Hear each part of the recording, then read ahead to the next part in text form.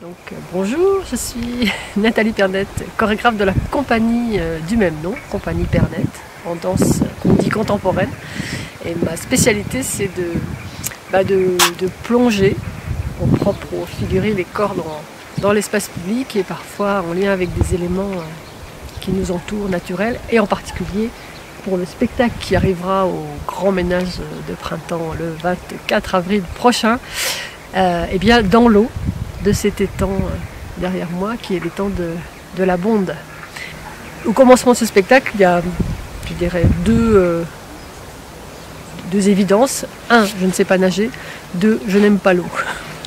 Et puis à partir de ce constat un petit peu alarmant, malgré tout, j'ai une certaine fascination pour cet élément, en particulier la nuit, puisque je trouve que l'eau la nuit a une espèce de puissance d'attraction euh, et une puissance fantastique.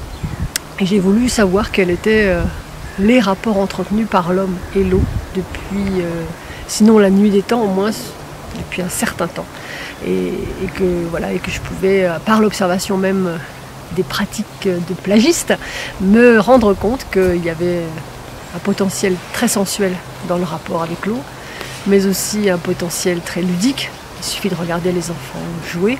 Et puis enfin, un potentiel de danger, j'appelle ça l'eau noire, qui est euh, la noyade possible, euh, le tsunami, alors peut-être pas en Provence, mais en tout cas toutes les catastrophes que l'eau euh, l'eau peut générer et que j'avais envie de jouer sur ces, trois aspects pour bah, plonger le spectateur dans son propre imaginaire, lui, rappeler des souvenirs et puis le laisser rêver à sa guise.